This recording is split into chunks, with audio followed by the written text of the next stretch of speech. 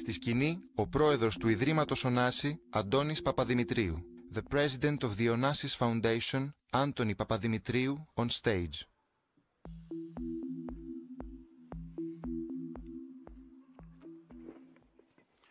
Εξοχότατη κυρία Πρόεδρε της Δημοκρατίας, εξοχότατε κύριε Πρωθυπουργέ, κυρίες και κύριοι.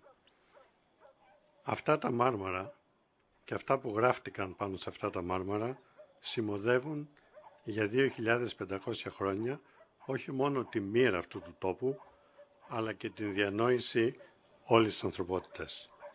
Ως Έλληνες, αλλά και ως Ευρωπαίοι και ως πολίτες του κόσμου, ήταν εκπλήρωση οφειλής για μας στο Ίδρυμα Ωνάση να ανταποκριθούμε στην πρόσκληση της πολιτείας να συνδράμουμε στον ανασχεδιασμό του φωτισμού της Ακρόπολης των Αθηνών και των μνημείων που αυτή τη στιγμή μας αντικρίζουν από το βάθος των αιώνων. Χρειάζονται όμως περισσότερο φως αυτά τα μνημεία. Βυθισμένα μέσα στο φως του φεγγαριού, γράφει ο Γιώργος Εφέρης, τα μάρμαρα έχαναν το βάρος τους.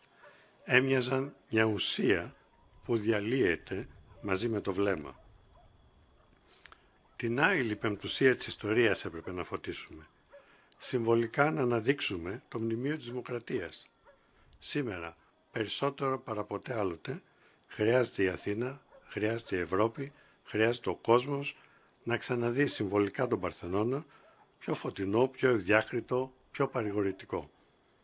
Η αλήθεια της δημοκρατίας και η αξία των ανθρώπινων δικαιωμάτων πρέπει να φωτιστούν συμβολικά και ο νέος φωτισμός της Ακρόπολης σηματοδοτεί αυτή την ανάγκη. Πέρα από αυτά, στην πόλη μας που παλεύει με τον εαυτό της, από τον ημιτό στην Πάρνηθα και τη Θαλαμίνα, θελήσαμε να ανανεώσουμε τη συνάντησή μας με αυτό το μοναδικό τοπόσιμο. Στην πόλη που τη χαρακτηρίζει η Ακρόπολη της, ο Παρθενώνας είναι ορατός από τα πιο αναπάντεχα σημεία. Από ένα στενό ανάμεσα σε δύο πολυκατοικίες και ένα γιασεμί. Από μπαλκόνια και ταράτσες στο νέο κόσμο, στο Εγάλεο, στην Κεσαριανή και τον Πειραιά. Είναι το πιο διακριτό και το πιο δημοκρατικό τοπόσιμο πόλης. Τέλος, για το Ίδρυμα Ωνάση όλα είναι παιδεία. Και πουθενά αλλού δεν θα μπορούσε να βρει πιο έμπρακτη εφαρμογή αυτή η πίστη εκτός από το αποκορύφωμα της ανθρωπιστικής τέχνης. Όπως είπε και ο Ερνές Ρενό στην προσευχή του στην Ακρόπολη, «Il y a un lieu où la perfection existe, il n'y en a pas deux». Η τελειότητα υπάρχει μόνο σε ένα μέρος, δεν υπάρχει σε δεύτερο. Φωταγωγώντας τον Παρθενώνα, δηλώνουμε ποιες είναι οι προτεραιότητές μας για τον πολιτισμό. Με τον τρόπο αυτό υπενθυμίζουμε τη διαχρονική αξία ενός μνημείου που εκπέμπει το φως του πάνω και πέρα από την Ελλάδα. Χωρίς όμως να έχουμε αυταπάτες, καθώς η Ακρόπολη στέκει μόνη της και χωρίς εμάς. Αλλά είμαστε εμείς που οφείλουμε να νοηματοδοτούμε κάθε τόσο το συμβολισμό της. Σε αυτή τη συγκυρία που αντιμετωπίζουμε, στην πανδημική κρίση που απειλεί να μας εγκλωβίσει, το, το φως μοιάζει να είναι ο ισχυρότερος συμβολισμός. Η παιδεία, η υγεία και ο πολιτισμός αφορούν την κοινωνία στο σύνολό της, χωρίς εξαιρέσεις. Αυτή είναι μία από τις βασικές αξίες του οράματός μας, το οποίο βασίζεται στο πνεύμα κοινοφέλειας που κληρονομήσαμε από τον ιδρυτή μας, τον Αριστοτέλειο Νάση, πριν από 45 χρόνια. Και αυτό είναι το πνεύμα που μας φέρνει πιο κοντά με τις φωτεινές δυνάμεις της ελληνικής κοινωνίας. Αλλάζοντας την πόλη, αλλάζουμε και εμείς οι ίδιοι βελτιώνοντας την όψη και τις υποδομές πολιτιστικής μας κληρονομιάς, στέλνουμε ένα μήνυμα προσβασιμότητας προς το κοινωνικό σύνολο. Από το κοινό όφελος και τον εκδημοκρατισμό των μνημείων καταλήγουμε όλοι κερδισμένοι, ως κοινωνία που συνομιλεί με το παρελθόν της, αλλά και ως μονάδες που συμμετέχουμε σε αυτήν και κοιτάμε προς το μέλλον. Αυτή είναι η έμπρακτη φροντίδα του Ιδρύματος Ωνάσης στην ανάδειξη του πολιτιστικού μας θησαυρού. Το ίδιο πράξαμε στο Μουσείο Υπόδειγμα στην Ελεύθερα της Κρήτης, όπου συμβάλαμε για να γίνει προσβάσιμο στο ευρύ κοινό, στο Δίον της Πιερίας με την ανάδειξη του, του ψηφιδωτού στην οικία του Διονύσου, στην αρχαία Μεσίνη με την πανευρωπαϊκή δράση ηχητικού πειραματισμού Tune City, αλλά και στη Νέα Υόρκη με τις εκθέσεις, μεταξύ άλλων, μνήμες κλασικής αρχαιότητας στην σύγχρονη ζωγραφική και emotions, συναισθήματα στον αρχαίο κόσμο, σε σύμπραξη με το Μουσείο της Ακρόπολης, που απέσπασε το βραβείο κοινού στα Global Fine Art Awards για το 2017.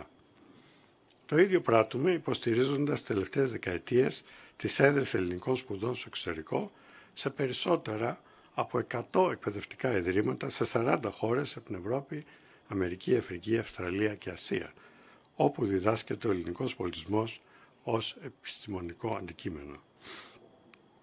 Η φροντίδα για τις πολιτικές μας ρίζες σημαίνει ότι πρέπει συνεχώς να ρίχνουμε τύχη και να στείλουμε γέφυρες. Γι' αυτό και το δεύτερο μέλημά μας σε σχέση με τον Ιερό Βράχο, πάντα σε συνεργασία με την πολιτεία, είναι να αποδοθεί ο σύγχρονος πιο λειτουργικός ανελκυστήρας πλαγιάς για άτομα με κινητικές δυσλειτουργίες κάθε είδους, ο οποίος αυτή τη στιγμή που μιλάμε έχει σχεδόν ολοκληρωθεί η εγκατάστασή του. Παράλληλα, σχεδιάζουμε και υλοποιούμε πρόσθετες δράσεις που θα βελτιώσουν την προσβασιμότητα του Ιερού Βράχου.